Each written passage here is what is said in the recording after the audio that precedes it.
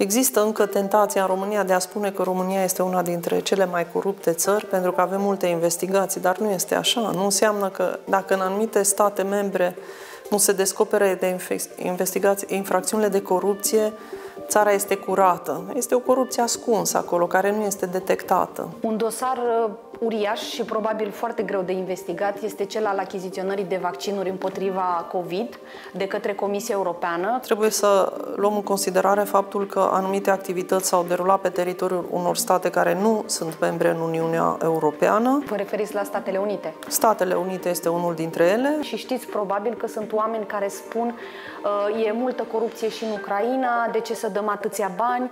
Uh, vă întreb dacă cumva în discuțiile dumneavoastră cu președintele Volodimir Volodymyr Zelensky sau cu alți oficiali ați abordat și acest subiect? Desigur că am discutat. Din perspectiva mea, corupție în timp de război înseamnă trădare.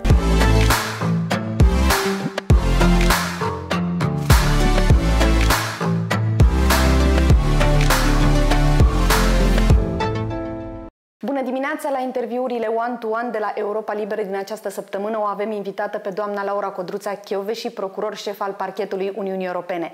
Doamna și conduce această instituție încă de la înființare, adică de mai bine de 2 ani. Doamna procuror șef al parchetului european, bine ați venit la Europa Liberă și la mulți ani de ziua Europei. Bine v-am găsit. La mulți ani Europa. La interviurile pe care mi le-ați acordat uh, anterior, ca procuror general al României și ca procuror șef al Direcției Naționale Anticorupție, am vorbit în mare parte, evident, despre corupția din România. V-aș întreba, pentru început, cum se vede din biroul de procuror șef al parchetului european, unde sunt 22 de state afiliate aceste instituții, justiția din România și mai ales corupția. Eu, justiția din România o văd foarte bine, la un nivel foarte ridicat. Cred că avem colegi profesioniști, nivelul de independență este ridicat, nivelul de profesionalism este ridicat. Cred că la nivel european suntem apreciați pentru excelența investigațiilor și pentru uh, ceea ce am făcut în acest domeniu și cred că ar trebui să fim mândri, nu avem niciun motiv să nu ne considerăm sus în ceea ce privește nivelul profesional. Există încă tentația în România de a spune că România este una dintre cele mai corupte țări, pentru că avem multe investigații, dar nu este așa. Nu înseamnă că dacă în anumite state membre nu se descopere de investigații, infracțiunile de corupție, țara este curată. Este o corupție ascunsă acolo, care nu este detectată. Acum, conduc această instituție, pot să compar, pot să văd ce se întâmplă în 22 de state membre, practic în zona EPPO, cum îmi place mie să-i spun, și n-aș putea să spun că România este mai coruptă decât alte state. Este corupție în toate statele membre ale Uniunii Europene, care se manifestă în diferite versiuni, ca să spun, sau cu diferite tipologii. Asta ar trebui să ne crească încrederea în noi, conform celui mai recent Eurobarometru al uh, Uniunii, un sondaj uh, recent, cum spuneam, 78% dintre români cred totuși că în instituțiile publice, centrale și locale, așadar de la noi există corupție. Media Uniunii este mai mică, 74%, dar aproape 20% dintre români cred că în ultimii 3 ani nivelul de corupție a scăzut. E încă mare, cu 10% mai mare decât în uh, media Uniunii Europene, la aceeași uh, întrebare. Haideți să ascultăm câteva păreri. Credeți că există corupție mai mare, mai mică decât în România și în alte state din Uniunea Europeană? Sigur, la sigur. În Bulgaria cred că există corupție. În toate statele din estul Europei și din sudul Europei cred că există multă corupție. Avem nevoie de mai multă Uniune Europeană pentru a aduce România la standardele occidentale. E corupție și în alte state europene? Ce credeți? E corupție peste tot, corupția e ceva cumva natural. Contează de starea financiară a acelui stat, din cât știu, dar cu cât PIB-ul este mai mic, cu atâta corupția este mai mare. La noi cred că e generalizată corupția mică, deci corupția la un nivel primar al omului de rând, al portarului de la spital. Afară e posibil în țări dezvoltate din punct de vedere economic să fie corupția mare la un alt nivel. Și credeți că e bine că e un parchet al Uniunii Europene care să încerce să-i prindă pe cei care fură banii europeni? Foarte greu pe o ușă intră, pe alta iese. Raportat la uh, numărul de dosare preluate din România și la cuantumul fraudelor uh, bănuite, cum stăm? Deci avem în România peste 124 de dosare pe care le investigăm și prejudiciile, estimarea prejudiciului în aceste dosare este undeva la 510 milioane de euro. Deci cam asta este ceea ce investigăm noi la parchetul european în biroul din uh, România. Dacă ne uităm la statisticile pe întreg parchetul european, o să vedem că Italia și Germania au un număr uh, mai mare de dosare, Bulgaria are un număr mai mare de dosare, dar asta nu ne arată că nivelul de fraudă sau de corupție în aceste state este mai mare decât în celelalte state europene. Și v-aș da un exemplu. Olanda.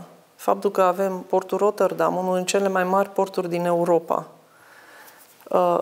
Uh, într-un an de zile au raportat zero cazuri de fraudă cu TVA nu înseamnă că nu există fraudă cu TVA în Olanda Vi și nu înseamnă că este o țară curată. Sigur că da. Mai ales că în investigațiile pe care le facem în celelalte state membre, noi vedem conexiunile inclusiv cu, inclusiv cu Olanda.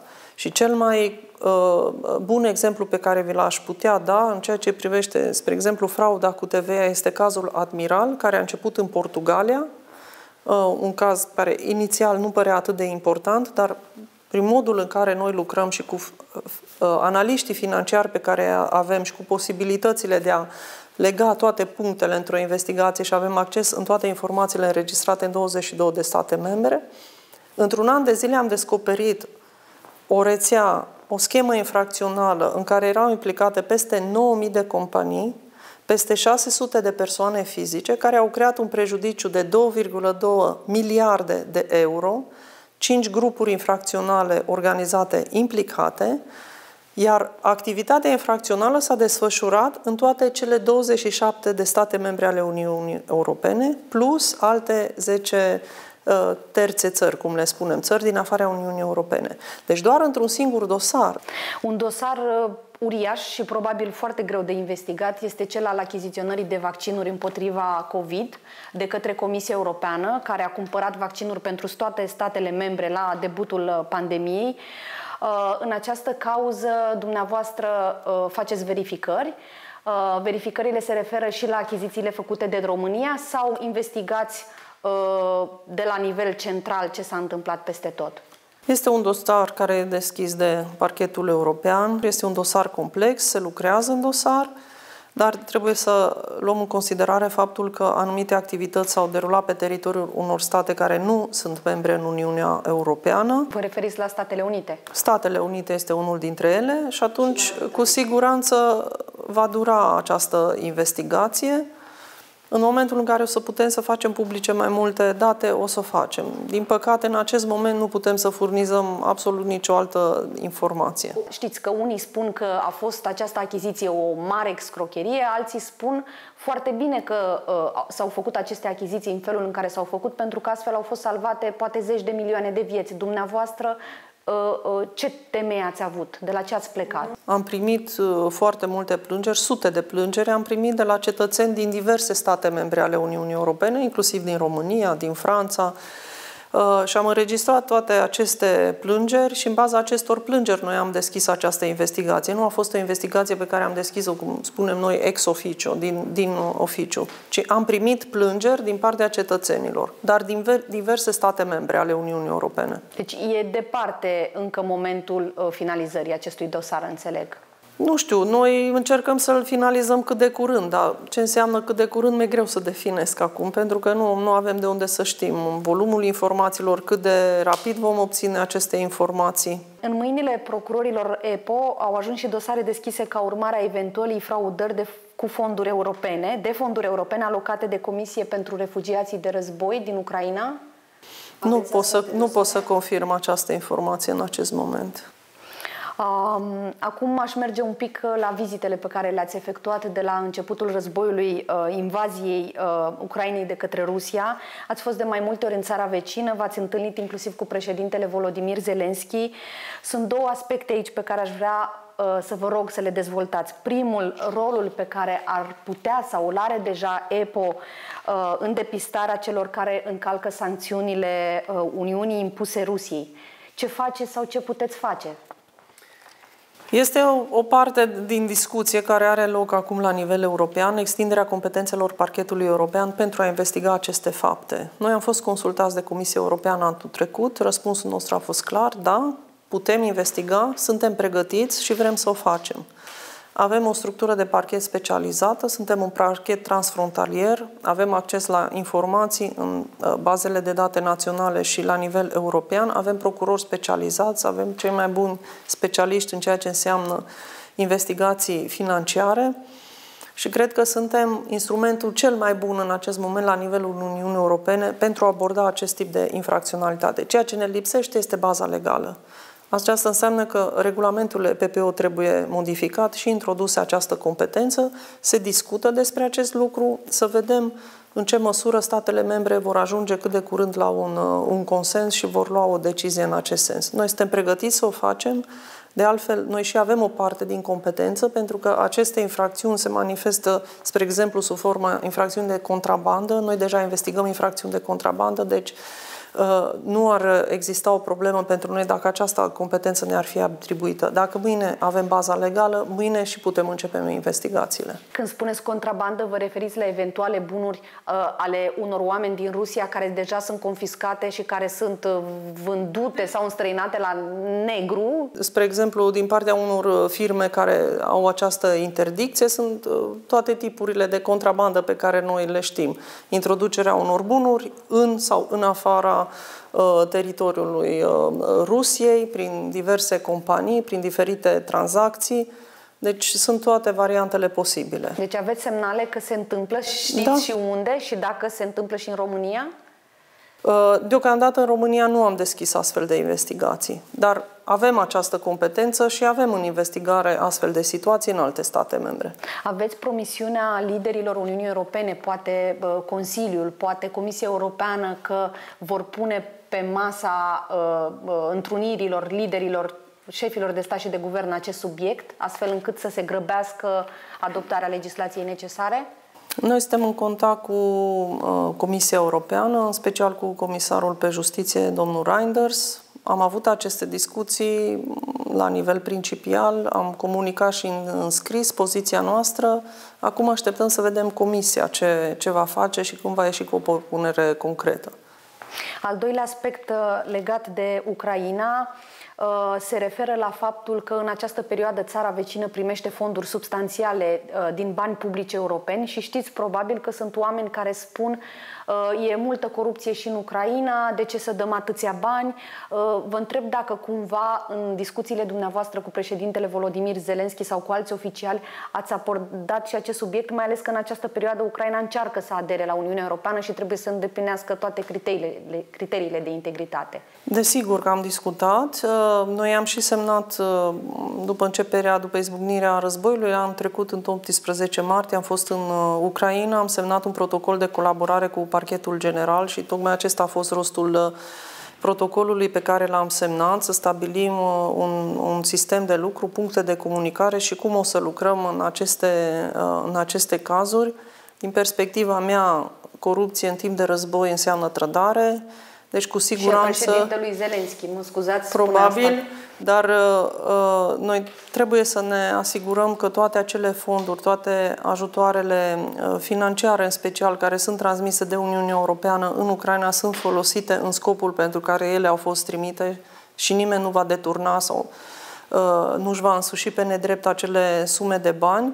Este modul în care noi putem să ajutăm uh, Ucraina în mod efectiv prin anchetele pe care le putem face. Am avut mai multe întâlniri și cu procurorul general și am uh, stabilit două direcții de acțiune. În primul rând, ei au un proiect de a implementa directiva, uh, celebra directivă PIF, Directiva pentru Protecția Intereselor Financiare ale Uniunii Europene, care definește infracțiunile. Este un proiect care este pregătit acum în Ucraina și probabil va fi adoptat.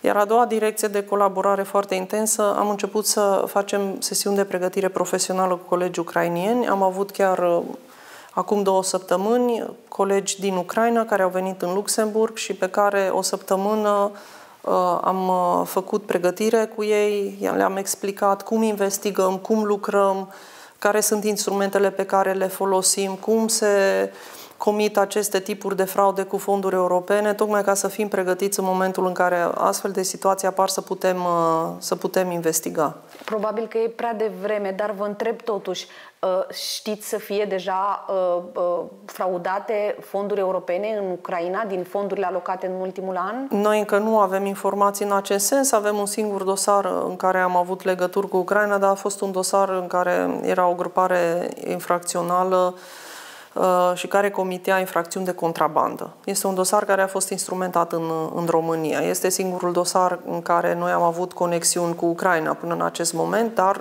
nu exclud posibilitatea ca de acum încolo Problema cea mai importantă a fost să creăm mecanismele că atunci când acești bani vor merge către Ucraina, să, să fim pregătiți să investigăm. Și aveți uh, uh, puterea legislativă să faceți asta? Noi avem. Noi avem această deci, competență. Era important să discutăm cu colegii ucrainieni. Pentru ei era important să vadă cum lucrăm noi, cum ne pot sesiza, cum putem primi informațiile, cum putem lucra împreună. Toate aceste lucruri, cred că în acest moment sunt uh, rezolvate, sunt discutate și cu siguranță în viitor vor apărea și informații despre modul în care s-au cheltuit aceste sume. De curând, Comisia Europeană a anunțat inițierea unei legislații anticorupție unică, o legislație unică pentru toate statele membre. Uh, se va aplica și în România, evident, chiar dacă am scăpat de MCV, mecanismul de verificare și control, care a fost înlocuit de un altul valabil pentru toată lumea. Bănuiesc că ați văzut această propunere legislativă. Uh, anterior, dumneavoastră ați declarat, suntem pe direcția bună, dar trebuie să facem mai mult. Asta înseamnă ajustări organizaționale și legale. Aș cerut mai mulți investigatori care să lucreze la parchetul european în toate statele participante. Ați primit oameni și... Discutarea bugetului este în plin proces acum. Noi am trimis propunerea noastră Comisiei Europene să vedem număr discuțiilor în Parlament și în Consiliu. Probabil undeva în toamnă vom ști dacă vom primi toate aceste resurse. Pot să vă întreb câți bani ați cerut pentru anul viitor, probabil, și câți oameni în plus față de ce aveți? Uh, în ceea ce privește numărul de persoane, am cerut uh, peste 100, mai avem nevoie de peste 100 de persoane, pentru că la momentul când parchetul european a fost creat, din punctul meu de vedere, nu am început cu toate resursele care erau necesare.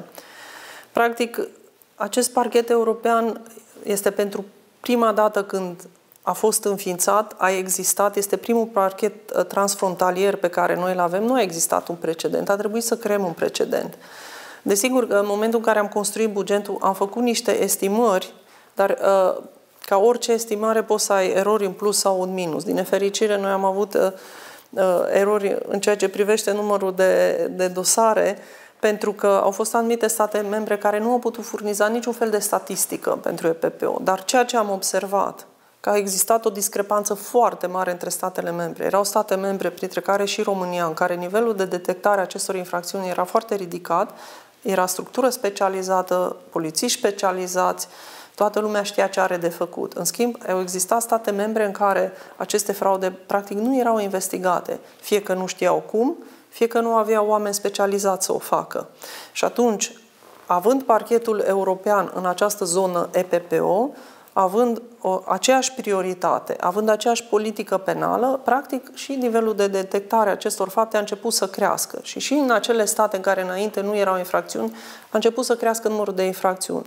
Și noi am constatat acum că avem, spre exemplu, un lucru peste 1200 de dosare, dar la anul volumul de activitate se va dubla. Pentru că nu poți să finalizezi toate dosarele într-un an de zile. Mai mult decât atât, frauda cu TVA în Europa, conform estimărilor, ultimelor estimări ale Europol, uh, cauzează daune de peste 50 de miliarde de euro în fiecare an, an după an de, de decenii, da? de procente 10 bune ani, din PIB. procente bune din PIB, da. Și atunci, reducând frauda cu TVA, sigur că și veniturile la buget o să crească și acesta este unul din scopurile noastre, să reducem frauda cu, cu TVA. Ori toate aceste dosare complexe, ca, de exemplu, ca exemplu pe care vi l-am dat anterior, dosarele nu pot fi finalizate într-un an. Să finalizezi și investigația, să ai și unul sau două grade de jurisdicție și să ai o decizie definitivă. Și atunci estimările noastre sunt că la anul volumul de activitate se va dubla. De aceea noi am cerut și dublu numărul de persoane pe care îl avem. Ce faceți cu Ungaria și Polonia care nu au aderat la parchetul Uniunii Europene, dar sunt nenumărate rapoarte internaționale și foarte mulți eurodeputați au spus public uh, de la pupitrul Parlamentului European că cel puțin în Ungaria se fraudează fonduri publice comunitare. Cum vă descurcați acolo? Ungaria și Polonia sunt între țările neparticipante la EPPO, cum este și Suedia, Danemarca și Irlanda. În Ungaria am semnat un protocol de cooperare cu parchetul general. Până acum nu am avut probleme în cooperarea cu ei de câte ori am avut nevoie de documente, de efectuarea unor activități, au fost uh, receptivi, dar competența noastră este foarte limitată. Spre exemplu, dacă este o companie ungară care, uh, nu știu, comite o fraudă cu fonduri europene în Ungaria, fără nicio altă legătură cu un cetățean din celelalte state participante la EPP sau teritoriul unei unui stat membru participant la EPPO, nu putem investiga. Deci, oricum, noi avem o competență extrem de, de limitată. În ceea ce privește Polonia, lucrurile au fost un pic mai dificile. A trebuit să sesizăm Comisia Europeană pe mecanismul de uh, stat de drept, întrucât nu au dorit să colaboreze cu EPPO. În cele din urmă au adoptat uh, legislație internă, au adaptat uh, regulamentul EPPO la legislația lor și din iarna acestui an au început să, să colaboreze cu noi. Dar, repet, competența este totuși limitată în ceea ce privește investigațiile pe fonduri cu, pe fraude cu fonduri europene. Credeți că este un model creat intenționat în aceste țări cu uh, firme care cheltuiesc acești bani europeni uh, înființate în țara respectivă, vorbim de Ungaria și Polonia, tocmai ca să nu poată fi depistate fraudele? Mi-e, mi-e, mi-e greu să găsesc o explicație. În cele din urmă a fost o decizie politică. Să nu uităm totuși că avem și Suedia și Irlanda. Irlanda este unul dintre statele nu participante la EPPO care nu colaborează cu noi. A fost nevoită să sesizez Comisia Europeană și în cazul Irlandei pentru că nu a dorit să coopereze cu EPPO. Printre dosarele pe care dumneavoastră le investigați, uh, se află și cel al achiziției de către Poliția Română a sute de mașini Uh, și ne spunea ministrul uh, fondurilor europene, ne-a transmis și poliția într-un răspuns că aș cerut documente despre acest dosar. Ne puteți spune în ce stadiu este, măcar? Deocamdată se fac uh, investigații și în momentul în care să putem anunța public anumiți pași din, din investigație, cu siguranță o să facem. Dar deocamdată, așa cum știți, am cerut documente, sunt analizate, se lucrează în dosar, probabil o să avem cât de curând niște răspunsuri. Deci, dacă dumneavoastră investigați, înseamnă că sunt folosite fonduri europene. Da. Noi avem uh, în investigație doar faptele care cauzează uh, pagube la bugetul Uniunii Europene. Deci dacă nu sunt fonduri europene, noi nu putem face investigații.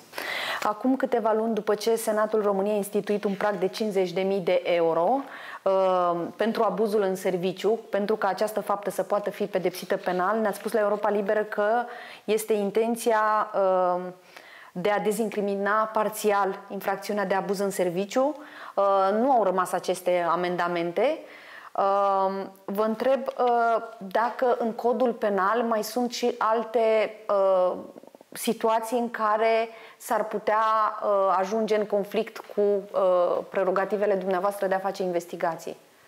Deocamdată m-am rezumat la abuzul din, în serviciu. Una dintre obligațiile noastre instituționale este că atunci când sesizăm că sunt modificări legislative care ar reduce competența parchetului european sau ar reduce posibilitatea parchetului european de a abora bugetul Uniunii Europene, trebuie să reacționăm este unul din situații. Pentru abuzul în serviciu am verificat cu colegii mei, pentru că în structura centrală în Luxemburg avem câte un procuror european din fiecare stat membru.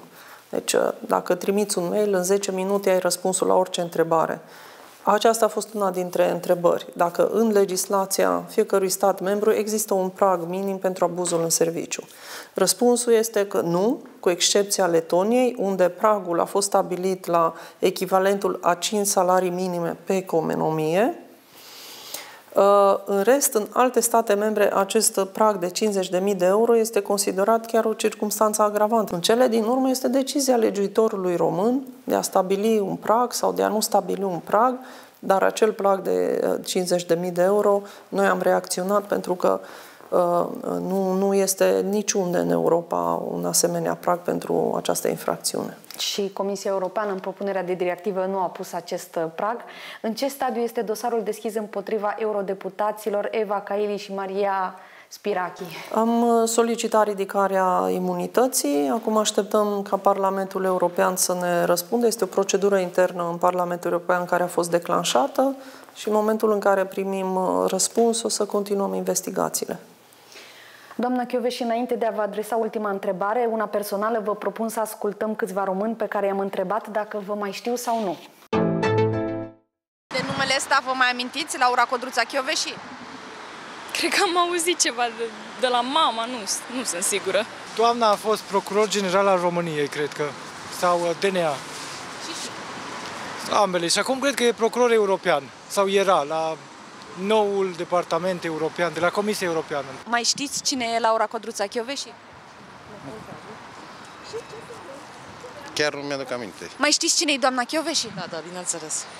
Fostul procuror șef al DNA și actualmente procuror șef la, la parchetul european. Așadar, ultima întrebare ar fi cum vă explicați că sunt niște persoane, nu știm cine, uh, care, deși dumneavoastră ați tot spus că nu veți candida, nu veți intra în politică nici anul viitor, nici în anii precedenți, continuă fie să vă pună imaginea pe anumite clădiri din București, cel puțin eu am văzut, sau să vă pună numele în diferite uh, sondaje. Uh, știți cine face asta și cum vă explicați? Nu știu cine face asta. Nu am discutat absolut niciodată cu nimeni despre vreo anumită intenție a mea de a candida la președinție. Nu mă interesează să candidez la președinție, nu vreau să candidez la președinție. Probabil toată lumea așteaptă să spun de ce, pentru că pur și simplu nu-mi doresc acest lucru. Doamna procuror, și vă mulțumesc foarte mult pentru acest interviu. Cu plăcere.